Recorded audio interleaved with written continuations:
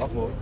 Sau đó thì chuyển sang là đầu hóa để xây xây công học tuy nhiên uh, Hải đã giao nhà cho tôi hai năm.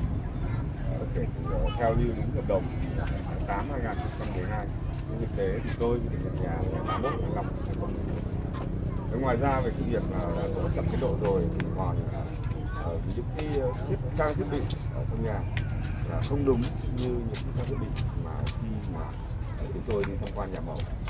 Ờ, ngoài ra thì khi mà bàn giao căn nhà thì ờ, theo hợp đồng thì ờ, đo lại diện tích nhà để tính vị trí quản lý sau này. Cũng như là tính ờ, diện tích để mà ra sổ đỏ.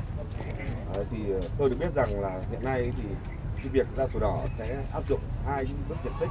Một diện tích là đo từ kim tường và một diện tích là khung thủy nhưng mà khi tôi nhận nhà thì Điện Hải không tiến hành việc đo đạc đó. Ờ, rất nhiều trong những khoản mục ở trong hợp đồng thì uh, thường là cái sự mà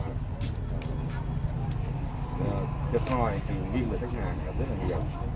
Uh, điển hình như cái việc về việc chậm trễ hay là về việc sai những cái trang thiết bị trong trong trong nhà thì không thấy việc là phải làm đúng những cái gì mà ở trên đồng đã ký kết. Ờ, xin bác cho biết họ tên đầy đủ của bác. À, tôi là Nguyễn Viết Cửu ở nhà A2 Nguyễn Viết